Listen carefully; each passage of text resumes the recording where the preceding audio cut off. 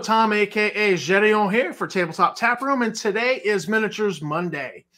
Today we're discussing uh, painting eyes on miniatures uh, because this is one of the things that I consistently get comments on when I've got my miniatures out on the table. People like, "How do you paint your eyes?" Uh, they like the eyes on my miniatures, so we're gonna take a look at some, and I'm gonna tell you my secret. I have a cheat that I do and um, I'm not ashamed to say it. I cheat. I got a wicked cheat, and it's it's a good one. So this is Sallah, named after Sallah from Indiana Jones. He's got the nice fez going and the beard and the mustache. And uh, look at these eyes. Um, you know these these are really well painted eyes. Um, but again, it's a cheat. I don't even know who makes this miniature. Um, but again, you know, he's got uh, he's got like a serious look, and I think the eyes really convey it.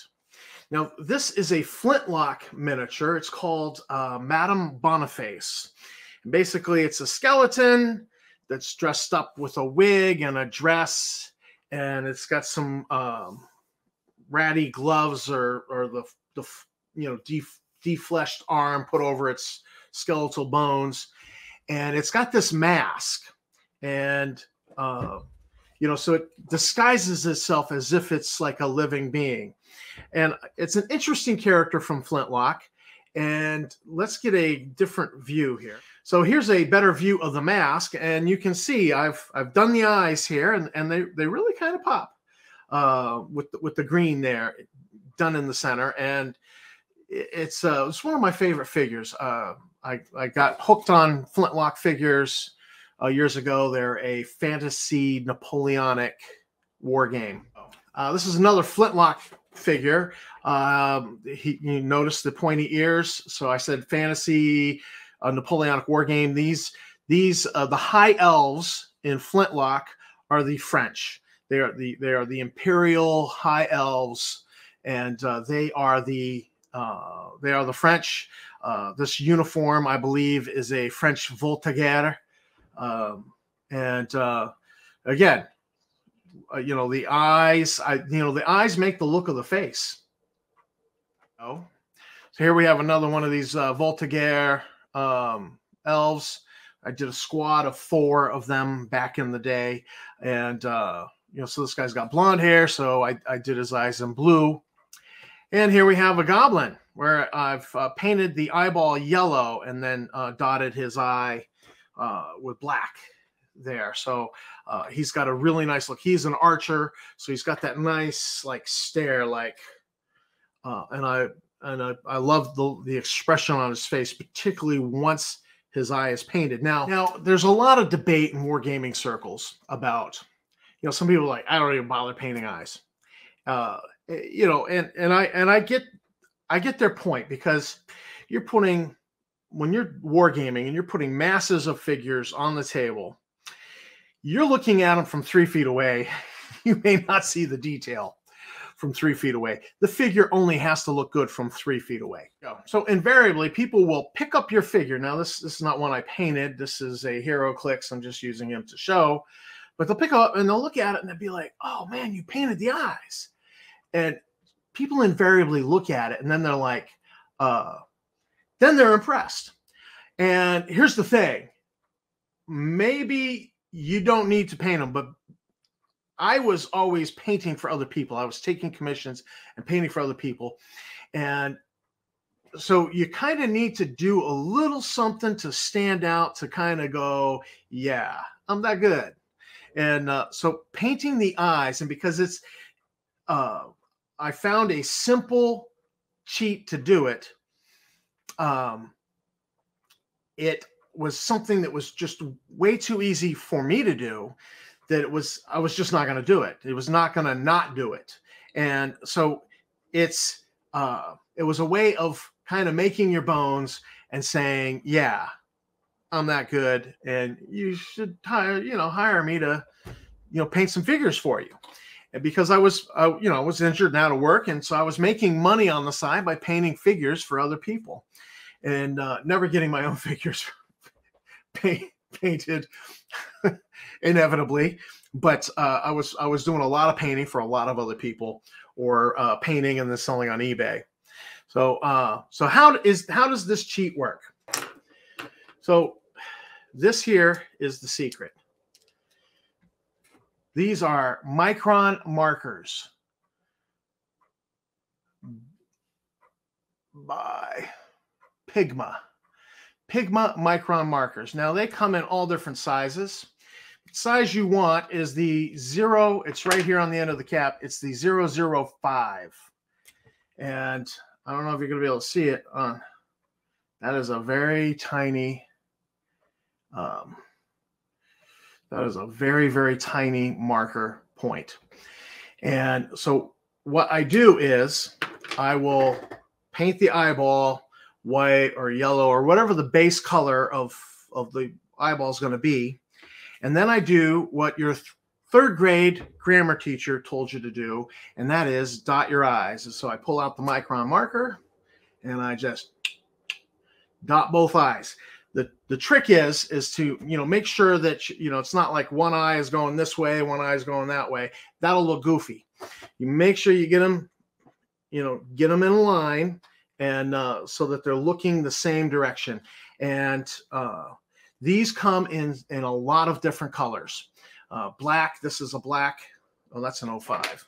We want, and that's an 02, 005. So you want the 005, and it is just a tiny, tiny little point on there. And you're going to dot that eye. And so the the the paint goes on, and then the micron marker comes out take a look at this face here for a second. Now, this is blown up, so it looks big, but that little round circle, that is the 005 tip making that. And so on a 28, 32 millimeter figure, it's perfect for making the, the round iris. I don't even bother trying to get the, the black in the center. I just do the color because again, you're looking at this from a distance. So, you know, even at 18 inches from your face, you're seeing the blue eye. You don't necessarily see the little black iris in there. I don't even bother trying to do that, but I definitely put the round dot. And that look how round that is. That's just the end of the pen making the dot. Now, you say, well, that's kind of a cheat. Well, this is permanent ink. So what's the difference between, you know, and we do paint, we do we do do a lot of effects with ink, ink washes, and so on and so forth. So ink is used in painting of figures. Why not this? It's a nice tool. It puts a nice round dot. You know, if you steady your hand, and you know, I do I usually bridge off the other hand that's holding the miniature and do a nice controlled little dot. And I get both eyes done, and then they look fabulous a little bit of brown wash. Um, back in the day, originally I used Ogryn Flesh wash from um, Warhammer there, the company there, Games Workshop. I used their Ogryn Flesh. Well, they stopped, they renamed it uh, like Reich Shade something. And uh, so that's what I use, you know, and I'll do a, a wash on the face and we get the nice brown you know tone and grit in around the nose and around the mouth uh, in all the deep crevices um, particularly after painting the white of the eye uh, we do the wash and then i dot the eye um, if the wash really muddies up the white of the eye i'll go back over it again with a, a little bit more white uh, wait for that to dry and then dot. And these eyes they come out fantastic. And in the case of Sallah here, notice that uh, you're not getting a lot of white because the dot. Well, his eyes are small. He's kind of you know a little bit squinty there going on. So that that black dot in the center of his eye um, kind of obscures. So it, it's a great effect on him, and he's and he's got that great like stare going. It, it, it really makes this figure pop. So it's a cheat but it works and you just can't argue with results and you know, it, it's it's just been something I've been doing for years now, and even now, even though I don't paint for other people now, I haven't really taken commissions and uh, taken a commission in years. Um, you know, I just continue to do it. You know, and and in part, when it's an RPG figure, sure, you, you probably want to dot the I's. When it's a wargaming figure, you'd be like, you know, I'm doing a regiment of 30 uh, soldiers for the for the wargaming table. I don't know that I want to paint it. I just I just keep doing it. It's wicked easy, and uh, you know the eyes always pop, and it always draws attention. And when it comes to selling them on eBay, a photograph like this that really zooms in and gets the face can sell the figure because they're like, whoa, you went to the trouble to paint these eyes. What other details have you painted on this figure that I'm not seeing? So it it uh, it doesn't hurt the resale uh, value of these figures. Uh, you know, if, if, I I wouldn't part with Sallah, I just like him. But you know, I'm always thinking like the little embellishments to make the figure stand out, so that uh, later on down the road, if I sell him, you know, I can command the price I want to get. I you know, I'm not going to get lowballed uh, you know, on a on a price. So that's my cheat. It's uh, there you have it. Again, the, they don't smudge. They're permanent. Um, you can write with these on really thin paper. Uh, it doesn't bleed through. They're an absolute um, one of my favorite art supplies of all time. Nice. I always dot my I's, but that's what uh, you know Mrs. Uh, Laframboise told me in at Notre Dame Elementary School. Dot your I's. So um, that's my advice. Start dotting your I's. Get a micron marker and the colors you want.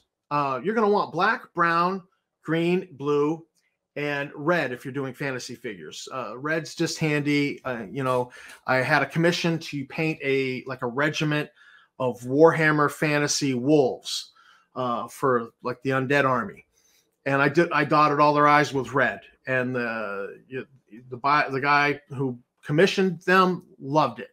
Um, and a bunch of other undead in that army. I mean, not skeletons; their eyes are just dark sockets. But a bunch of the other undeads uh, in that army that had eyeballs got dotted with red, and so it was a nice effect, and uh, you know it really worked well with that army. And uh, the guy was very impressed with all the extra embellishments like the dotted eyes that we did. So uh, that's my advice on painting eyes that pop. Truth is, I don't really paint them. I just mark them with a marker. Oh well, sue me. nobody who's commissioned me to paint a figure has ever complained about the eyes. So that's how I do it. Uh, and we get really good results. And you can do it too. It's, it's simple. It's, it's absolutely a simple process. So this is Tom for Tabletop Taproom. Thanks for watching the video. Thanks to my subscribers. You guys are great. If you haven't already subscribed, go ahead hit the subscribe button and the bell icon so you get notifications when we release a new video. And uh, keep on gaming.